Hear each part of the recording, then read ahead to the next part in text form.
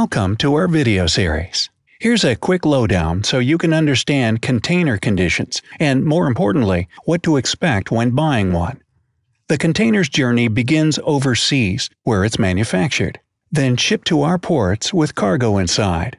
It's then transported by truck or rail to the cargo owner's location, emptied, and then returned to a local depot for inspection.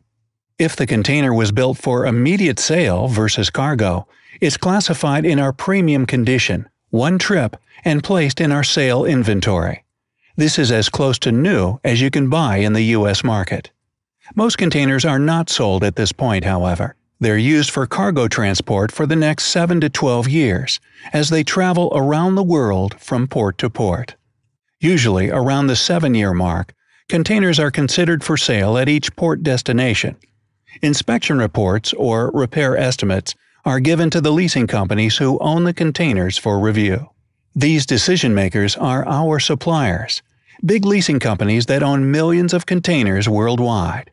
They make a choice to accept or decline the repair estimate, which determines the container's sale condition. If the estimate is approved, they fix it. After repair, this container is cargo worthy again. It can be sold or reused for cargo. The container cosmetically will look pretty good and is usually 7 to 14 years old. You can expect minor rust with small dents and dings. If the estimate is partially approved, they fix just enough to make it wind and water tight. After minor repair, this container is off to the sale pile as its cargo life is over. Structurally sound for storage, the unit will vary cosmetically based on age. Expect rust, dents, and patchwork. The unit is typically 7 to 20 years old.